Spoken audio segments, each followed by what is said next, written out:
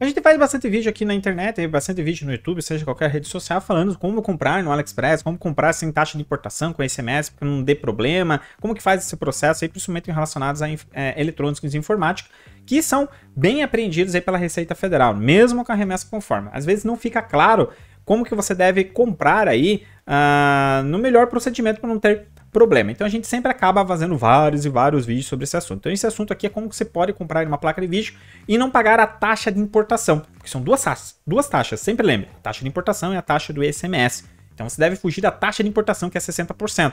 Os 17% ali que é o SMS, que é padrão no Brasil inteiro, a gente consegue simplesmente manobrar, né? Podemos dizer assim, né? É, a gente não sente tanto, mas os 60% é muito alto. Então, como você vai fazer? Por exemplo, se você está querendo uma placa RX 580, que é uma placa de vídeo bem utilizada, a gente sempre pega esse exemplo. Ó, a gente for aqui no Mercado Livre, Mercado Livre a gente pode utilizar como parâmetro 580, aqui ó, RX 580. Excelente placa de vídeo isso aqui, por sinal, tá? Principalmente para editor e para quem joga. Ela é muito barata e tem um desempenho bem alto. Você pode ver aqui, ó, que pelos, pelos itens relacionados você vai pagar aí 710, né? Se a gente for filtrar aqui produtos novos, né?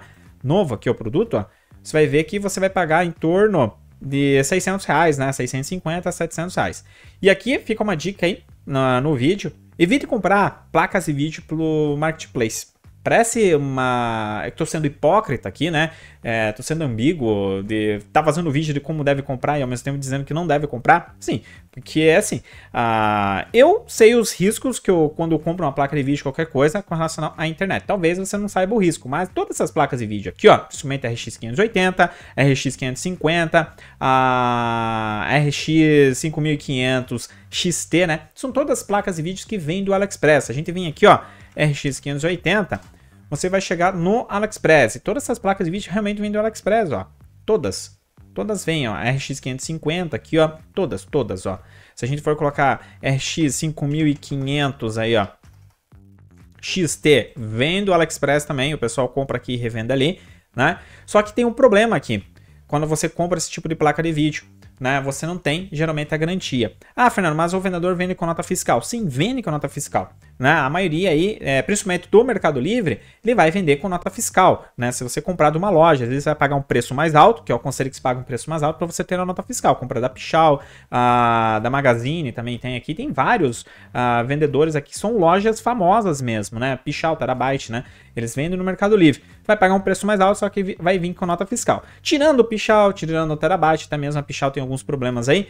Como que você vai exercer o teu direito se uma placa de vídeo dessa aqui queimar? Você tá, tá gastando 700 reais, né? Então eu sempre aconselho, se você não se importar é, e ter um pouco mais de garantia, é, dormir com a consciência um pouco mais leve, é você comprar simplesmente de uma loja fí física reconhecida na sua cidade, tá? É aquela lojinha que já faz 10, 15 anos e continua trabalhando com produtos de informática. Então ela se reinventou várias vezes. O dono ali, os proprietários ou proprietários, sabe lidar com os problemas relacionados à informática. Se acontecer algum problema, você vai ter a nota fiscal, você vai saber onde está é, a loja e também é muito mais fácil de acionar o Procon se eles não resolverem o teu problema. Entendeu? Então você vai lá e. Ou até mesmo eles mandam arrumar a placa de vídeo, ou eles dão uma nova placa de vídeo que eles não vão querer se sujar ali por 700 reais, né? Uma empresa não vai querer é, se prejudicar por 700 reais, né? Entendeu?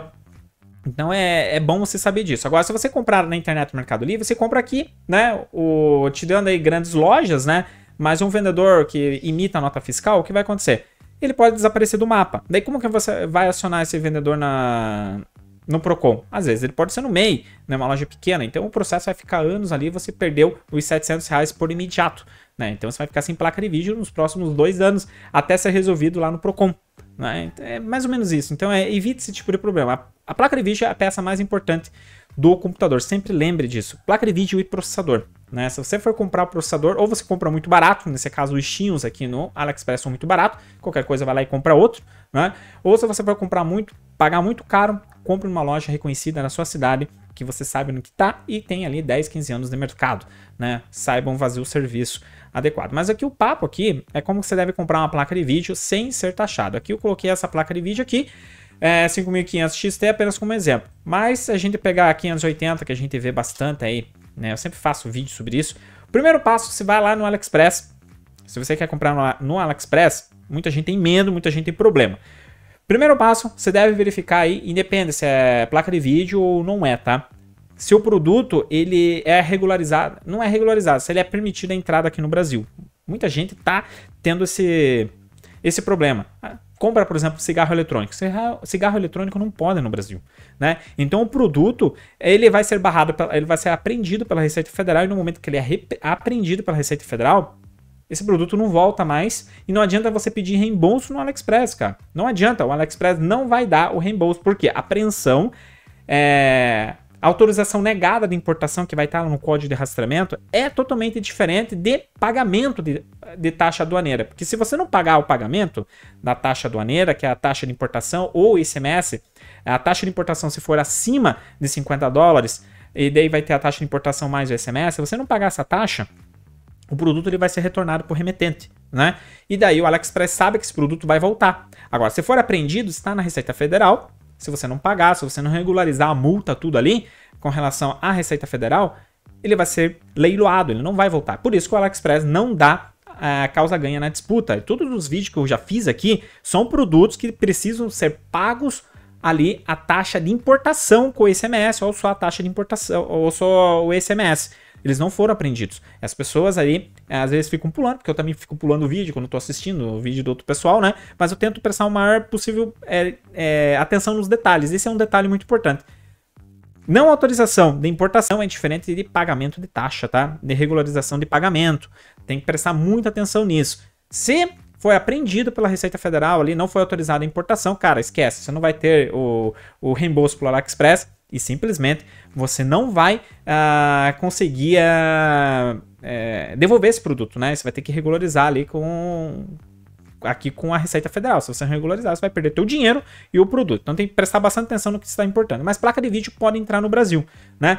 E placa de vídeo, processador, memória RAM, é, SSD, tá, todas as partes de informática podem entrar no Brasil, né? Então, o primeiro passo é ver se o produto ele é, é autorizado a entrar no Brasil como importação. Produto de informática pode, roupa também pode, a questão de maquiagem, assim, coisa de cutícula, máquina de cabelo, tudo isso aí pode, tá? É só se tem o cigarro eletrônico, porque não pode mesmo, né? E tem outros produtos aí que não pode também. Principalmente questão de farmácia, é, farmácia, remédios, né? Essas coisas não pode. E o que acontece aqui é que daí você tem que escolher a tua placa de vídeo ou o seu produto aí e você deve analisar, pô, ah, esse produto está abaixo de 50 dólares ou está acima de 50 dólares. Se tiver acima de 50 dólares, você vai pagar a taxa de importação mais os 17% de SMS. Se tiver abaixo de 50 dólares, você só vai pagar a taxa de SMS, né? Que é o imposto ali de trânsito na mercadoria de estado para estado ou circulação nacional aqui que a gente paga. Então a gente vai pagar todas essas taxas diretamente na plataforma. Eu vou pegar aqui uma RX 580. Vamos pegar essa RX 580 aqui da Milce, né? Ó, eu vou clicar aqui, vou abrir uma nova página. Você pode ver que aqui no, no AliExpress, no Mercado Livre está em torno de 700 reais, né? E você vai pagar 324. Tá, tudo bem, você vai pagar isso. Não, você não vai pagar isso porque está acima de 50 dólares. Qualquer coisa, você pode chegar aqui em cima ó, e mudar a moeda. Ó. Deixa eu ver aqui, ó. Você pode chegar aqui na parte de cima, moeda, ó, dólar. E você confirma. Ele vai atualizar a página, você pode ver que está acima de 50 dólares. Ou seja, você vai pagar o SMS e você vai pagar a taxa de importação. Nesse caso, se eu clicar em comprar aqui agora, o próprio AliExpress aqui, ó, ele vai fazer o cálculo. Vou pagar 104 dólares, ou seja, bem mais é, daquele valor. Então, se você for multiplicar isso aqui por 5, isso aqui vai dar uns 600 reais, né? A gente pode voltar aqui, ó, e mudar aqui a questão para moeda real. Aí fica muito mais claro, né? Para você entender. Então, isso aqui é um truquezinho que você pode clicar aí e ver pela moeda do SD, né, que é abaixo de 50 dólares ou acima de 50 dólares. Clique em comprar agora, você vai pagar 612. Aqui no Brasil, você vai pagar 690. Você vai economizar um pouquinho aí, né? Podemos dizer assim, né? Esses aqui são todos produtos que o pessoal compra lá e revende aqui. Né? Não me pergunte como que eles fazem isso, tá? Que cada um tem sua maneira. E daí, beleza. Então, nesse caso, vai pagar a taxa de importação e ela vai vir bem descrita aqui, como você pode ver, ó impostos, ó, 294 de imposto significa que está pagando a taxa de importação. Então, nesse caso, você vai pagar a taxa de importação. Agora, se você quiser pagar apenas a taxa de SMS, por exemplo, uma placa de vídeo aí RX 580, que tem um desempenho bem legal, muito melhor que a 720, 610, 550 Ti. A, cara, 750 Ti da GTX, cara, muito melhor que essas placas de vídeo é uma RX 550 4GB. Ela tem um desempenho bem legal. Se você colocar no YouTube, tem bastante gente falando sobre isso. 265 reais aqui. Possivelmente essa placa de vídeo aqui não vai ser pega uh, na taxa de importação. né? Você pode ver, escolhi ali. Essa Mills aqui é uma marca muito boa. Já trabalhei bastante com ela. Você vai pagar apenas R$ 53,00 de imposto. Isso significa que você, tá, está pagando apenas o ICMS, né? É só você fazer o cálculo aqui, 17% de 265 dá 53 reais, vai pagar 313. Se a gente vir aqui no Mercado Livre, tô pegando o Mercado Livre com parâmetro, ó, 550, 4 GB, tá aqui, ó. Você vai ver que simplesmente essa plaquinha de vídeo aí tá em torno de 449. E esse valor aqui, pelo AliExpress, que ele sempre tá fazendo propaganda, vou, é, a placa de vídeo sempre vem aí com frete grátis, tudo, né? E sempre escolha Joyce, tá, cara? Se eu voltar aqui, ó, é, a Sakutra's Living Store aqui, uma loja bem grande, ó, Joyce entrega, então ela vai demorar bem é, pouco tempo para chegar na sua residência, cara. E é dessa forma aqui que você vai comprar produtos sem taxa de importação, que é dessa taxa que você deve fugir, a taxa de importação. Fernando, mas muita gente tem problemas de comprar aí e o produto não chega na residência. É aquilo que eu falei. Primeiro, você deve é, verificar se o produto é proibido, não é proibido entrar no Brasil. Produto de informática não é proibido. Você pode comprar aí um leque infinito de produtos, teoricamente. Ah, cigarro eletrônico, questão de farmácia, produtos assim, cara, vai ser é, é, vai ser apreendido pela Receita Federal, né? Deve pegar ali na, no governo ali tem uma lista de produtos autorizados e não autorizados, beleza? E aqui tem um problema muito grave que o pessoal não entende também. Quando o produto, por exemplo, você comprou um produto proibido, vamos citar lá o cigarro eletrônico. O cigarro eletrônico ele é proibido de, de entrar no Brasil, você comprou lá um monte de cigarro eletrônico. Né? Vamos até colocar aqui ah, na página aqui, ó. Vamos colocar cigarro eletrônico, ó. ó cigarro eletrônico. Opa! Ó, ci... Cigarro eletrônico, ó. Cigarro eletrônico. Isso aqui é proibido, tá, cara? Nem gaste dinheiro. Se comprou lá um cigarrinho eletrônico para vender aqui no Brasil, você vai pagar 14 reais. Teoricamente barato, né? Só que todos esses produtos aqui, quando a gente compra no AliExpress, como ele faz parte do remessa conforme, antes de ele ser enviado para o Brasil aqui, se você seguir o rastreamento ali, uh, antes de ele ser enviado, antes de ser autorizado na China para ser enviado para o Brasil, o AliExpress já envia a, documenta a documentação fiscal desse produto aqui para Curitiba, o Rio Grande do Sul, Porto Alegre, se não me engano, também tem outra entrada lá, Manaus também para cima, né? Mas geralmente vem para Curitiba. Ele já envia a questão documental desse produto. Então, a Receita Federal aqui no Brasil já sabe se esse produto vai chegar ou se não vai chegar. Isso depende se a Joyce ou se é um, um vendedor que não participa do Joyce do AliExpress. Quando chega no Brasil, ele já é apreendido pela Receita Federal. E quando ele é apreendido, tem um pequeno detalhe. Nesse caso, estamos lidando aqui com 14 reais. Só que se você compra alguma coisa aí muito cara, que não me vem nem à cabeça que pode ser tão caro. Se você compra um produto muito caro, proibido de entrar no Brasil, ou uma compra muito grande de mil dólares, essa compra é apreendida aqui no Brasil. Você já pagou a taxa de importação SMS pela plataforma? Cara, você vai, per vai perder tudo. Tudo isso, tudo. Porque você paga na plataforma. Aqui na Receita Federal foi apreendido. Entendeu?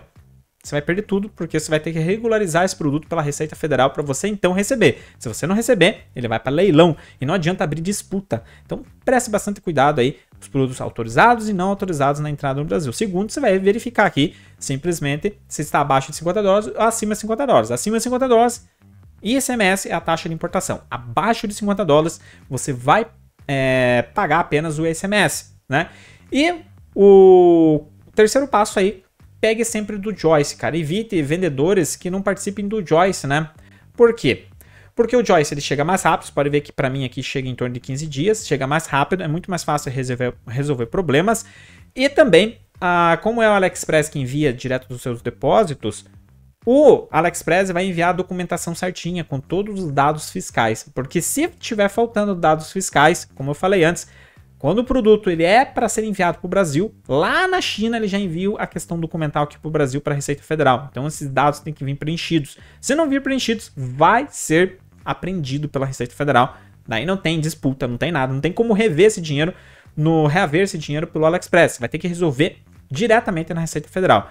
E para você saber se foi apreendido ou não, é no momento que chega no Brasil, né? Se você não se atentou lá no, na questão se é proibido ou não, você vai acompanhando pelo código de rastreamento. Se der lá importação não autorizada, apreendido. Foi apreendido, não adianta abrir disputa. Teoricamente apreendido. Você vai ter que resolver direto na Receita Federal, não adianta reclamar, não adianta xingar o AliExpress, não adianta nada. Não sei o que o pessoal tá falando na internet aí sobre isso, mas não adianta nada disso. Não adianta espernear, levantar as pernas para cima, chorar, pedir chupeta, não adianta, cara, não adianta. Se perdeu, vai ter que resolver na Receita Federal.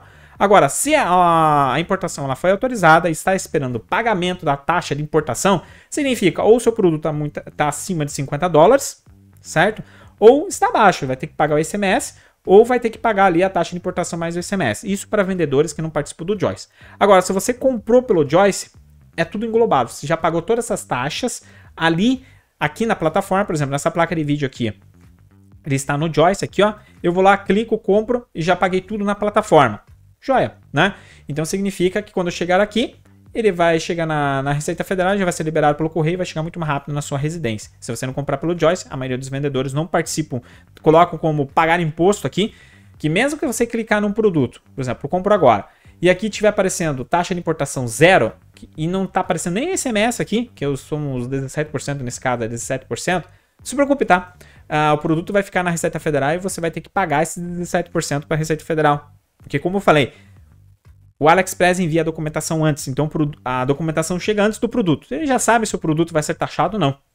Entendeu? Se o produto já foi pago ó, aqui o imposto na plataforma, se não foi pago. Então é dessa forma que você vai comprar produto sem pagar taxa de importação e produtos aí que vão chegar na sua residência e produtos também uh, que, que são aprendidos ou não, né? Um pequeno esboço de que é de como que você pode abrir a disputa. Se o produto ele foi autorizado, está pagando, pagando taxa de importação apenas, você tem ali o direito de abrir uma disputa e dizer não quero pagar a taxa de importação, eu quero devolver o produto. O AliExpress ele vai dar causa ganha para você.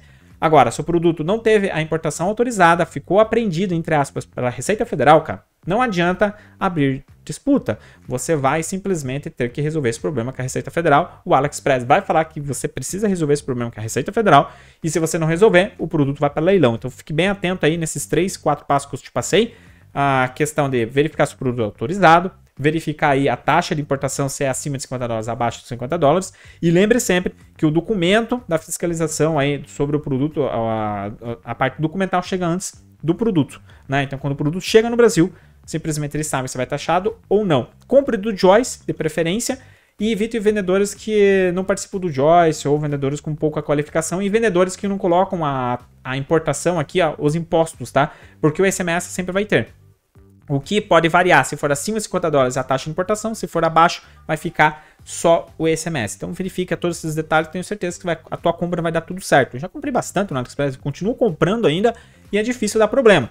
Né? O pessoal reclama bastante aí, às vezes, ah, eu comprei no AliExpress, não consegui o reembolso, ah, e o, o AliExpress não dá o reembolso. Mas é lógico, cara, você deve verificar se a, se a importação for autorizada ou não. Se não for autorizada, cara, tá aprendido na Receita Federal, AliExpress, é aquilo que eu falei, não vai dar causa ganha para você e vai falar, resolva com a Receita Federal.